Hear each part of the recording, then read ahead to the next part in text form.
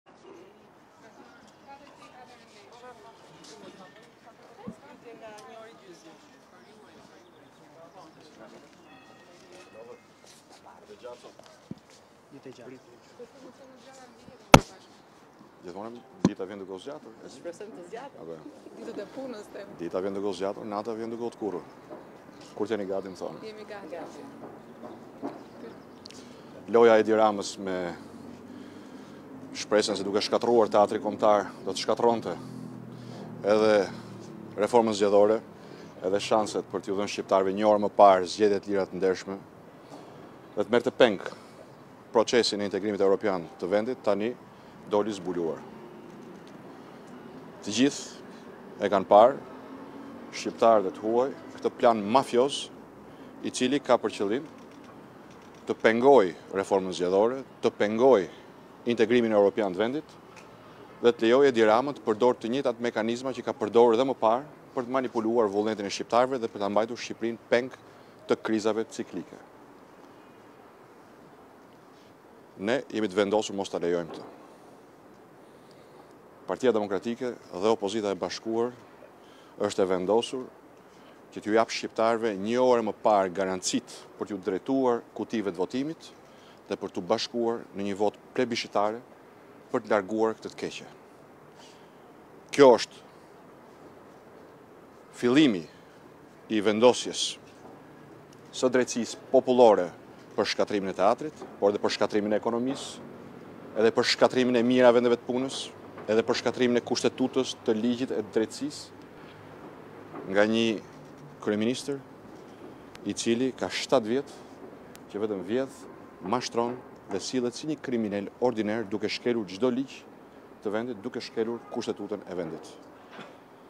Prandaj, bashkë me opozitën e bashkuar, kemi vendosur që t'ia mohojmë Edi Ramës këtë plan dinak dhe diabolik dhe t'i ofrojmë shqiptarëve rrugëdalje nga kriza, duke u angazhuar plotësisht në përfundimin një orë më parë të reformës zgjedhore, që do t'i hapë rrugë mbajtjes së zgjedhjeve të lira të ndershme, do t'i hapë rrugë procesit të negociatave dhe futjes së Shqipërisë në Bashkimin Europian, që të gjithë ata që kanë shkelur ligjin, që janë të përfshirë në afera korruptive, që janë në bashkëpunim të hapur me krimin, i tremben për arsyen e vetme, sepse ky është një proces monitorimi që tashmë ka filluar ta nxjerrë zbuluar autorin e varfërimit, shpunësimit, krizës ekonomike dhe shkatërrimit të institucioneve demokratike, që është një dhe vetëm një Edi Rama, i cili duhet të largohet një orë më parë me votën e lirë dhe të bashkuar të shumicës dërrmuese të shqiptarëve. Zoti Basha ju po flisni për lojë të Edi Ramës për të bllokuar reformën zgjedhore, por jeni ju ai që e keni braktisur tryezën e Këshillit Politik.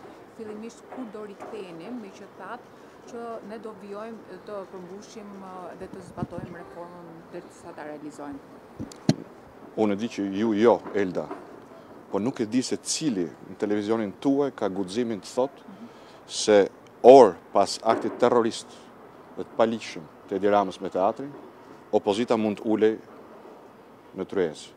Por ne kurrë nuk e braktisim dhe nuk mund ta braktisim procesin e reformës zgjedhore për arsyen e thjeshtë që sapo ju thashë. Këtë dëshiron Edi Rama. Braktisja e reformës zgjedhore shtyn objektivin kryesor të shqiptarëve që është largimi një orë më parë, shporrja një orë më parë e këtij keqbërësi, e këtij diktatori e këtij krimineli dhe këtij hajduti ordiner me votën e shqiptarëve. Do riktheheni në. Një orë më parë. Nuk do të rikthehemi në tryezë, nuk e kemi braktisur asnjëherë tryezën. E keni bojkotuar të paktën mbledhjen e 18 majit. Majit. Mbledhja 18 po majit. Dy letra nga ana e mazhorancës. Mbledhja e 18 majit dhe letrat e mazhorancës erdhën në kohë që njerëzit po rriheshin në rrugë, aktivistët e opozitës po rriheshin në rrugë. Nuk ka njeri që nuk e kupton këtë. Prandaj mos të merremi me këto detaje, është e qartë, ky ishte një plan, një lojë mafioze e Edi Ramës, që tani e dimë ne, e di faktori ndërkombëtar dhe siç e keni parë, Brukseli, Berlini, Londra, i gjithë faktori ndërkombëtar ka reaguar një zëri dhe maska e Edi Ramës ka rënë bashkë me teatrin. Teatri do ringrihet, aty ku ka qenë, ashtu siç ka qenë. Maska e Edi Ramës ka rënë një herë për gjithmonë. Zoti Basha, për lojëra sot foli edhe ambasadorja e Shteteve të Bashkuara të Amerikës në vendin tonë, zonja Yuri Kim. Kush po luan sipas jush? Ai që hodhi në erë teatrin me dinamit për të hedhur në erë reformën zgjedhore dhe për të bllokuar procesin e integrimit evropian të vendit. Jeni i gatshëm që të uleni në një tryezë për integrimin, për drejtësinë, sikurse ka propozuar sot presidenti i Republikës? Jam njohur me propozimin e presidentit që në javën e parë të prillit. E ka marrë përgjigjen time. I kam thënë që Edi Rama absolutisht ka 15 detyra për të kryer, opozita ka një detyrë për të kryer. Në këtë detyrë Edi Rama nuk po tregon vullnet. Ne do të vazhdojmë deri në fund të tregojmë vullnet politik për ta realizuar. 14 detyrat e tjera kanë të bëjnë me Edi Ramën, kanë të bëjnë me arrestimin e njerëzve që mban në krahun e tij të djathtë, dosjeve 339, 184 është një nga kushtet e Bashkimit Evropian. ka të bëjë me vënien e drejtësisë pra për zgjedhjet e vjedhura, ka të bëjë natyrisht me reformën zgjedhore, ka të bëjë me luftën kundër korrupsionit. Në asnjë nga këto detyra opozita nuk është e pranishme. Detyra e opozitës është një dhe vetëm një, dhe në tryezën e reformës zgjedhore jemi për një dhe një arsye, për të larguar një orë e më parë Edi Ramën që është e keqja e vendit, është e keqja e Shqipërisë, është e keqja e të ardhmes tonë europiane. Domethënë, zoti Basha, çfarë përgjigje i keni dhënë presidentit? Përgjigjen që sapo ju thashë. Që jeni të gatshëm? Jo, përgjigjen që sapo ju thashë, që opozita po e bën detyrën e saj me reformën zgjedhore, pra ndërsa, më falni, a e doni përgjigjen apo? Po, që opozita po e bën detyrën e saj në raport me 15 kushtet për integrimin. 15 kushtet për integrimin janë për ne udhërrëfysi për ta nxjerrë vendin nga kriza, për ta çuar drejt zgjedhjeve një orë më parë, me standarde, me garanci. Kjo është detyra e opozitës. Opozita nuk mund të bëhet fasadë, aq më pak e një njeriu që ka treguar që nuk ka vullnet as për reformën zgjedhore dhe që siç treguan ngjarjet e dy javëve të fundit është përpjekur çdo ditë të sabotojë dhe të hedhë në erë procesin e reformës zgjedhore, të mbajë peng Shqipërinë në procesin e integrimit europian për t'i shërbyer interesave të veta. Kaq e thjeshtë. Zoti Basha, për t'u kthyer pak tek reforma zgjedhore. Po.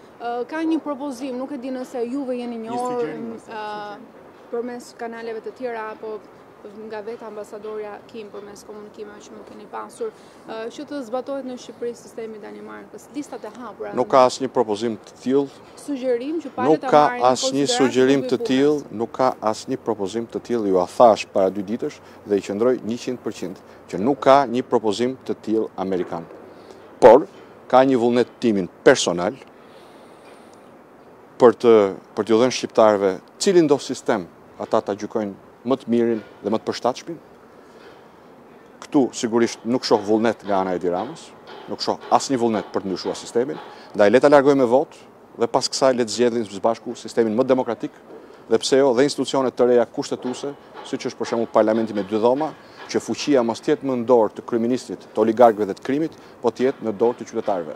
Unë kam bërë propozim për sistem maxhoritar, jam i hapur për listat e hapura, jam i hapur për çdo lloj reforme që fuqizon qytetarin dhe rivendos kontrollin dhe balancat, duke mos përqendruar pushtetin në duart e një njeriu, por detyra e parë është të shporrim me votë masive popullore këtë keqbërës që ka marrë peng vendin dhe don të marrë peng të ardhmen e tij europiane. Ju faleminderit.